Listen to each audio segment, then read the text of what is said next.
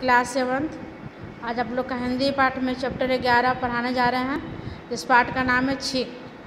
छीक जो है एक अंधविश्वास पर आधारित कहानी है। लोगों को अंधविश्वास के चक्कर में नहीं पड़ना चाहिए, ज़्यादा अंधविश्वास नहीं करना चाहिए।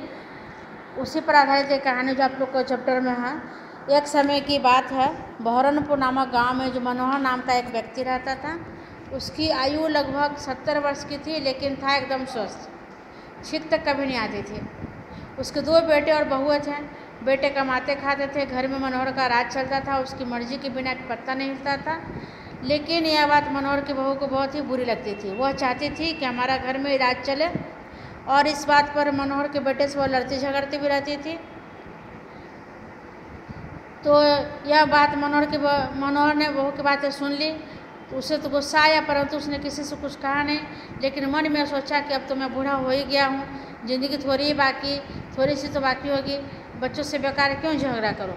काश आदमी को पता चल जाया करता है कि उसे कितने दिन और जीना है और कितना तो कितना अच्छा होता।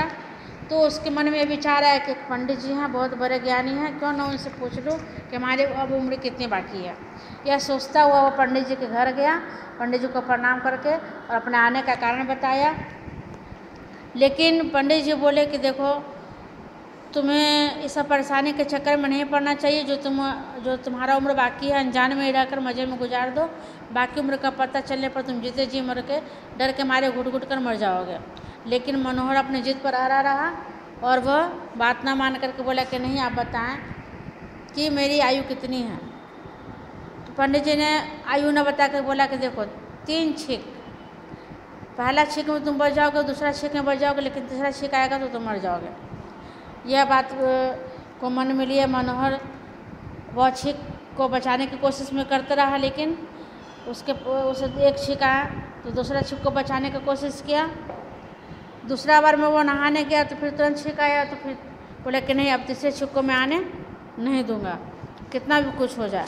लेकिन, किसी काम से उसकी बहू बाज़ार भेजती है मनोहर को मनोहर जाता है आटा लाने, तभी उस रास्ते में छिका जाती है जिससे वो डर से बेहोश होकर गिर जाता है।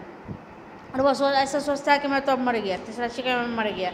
लेकिन वो चक्की वाले, जो आटे वाले थे, उसने, उसे क्या किया कि डंडा, दो तीन डंडा लगाया, वो फुर्ती से उठ गया और खड़ा हो गया। और चक्की वाले से बोला कि शुक्रिया, तुम्हारा बहुत बहुत धन्यवाद, तुमने मुझे फिर से ज़िंदा कर दिया। भैया, तुम मुझ पर इतनी मेहरबानी ना कर दो तो मैं तो मरा हुआ ही पड़ता पड़ा रहता। है और मनोहर आटे का बोरा कंधे पर रख कर खुशी खुशी अपने घर ले आया।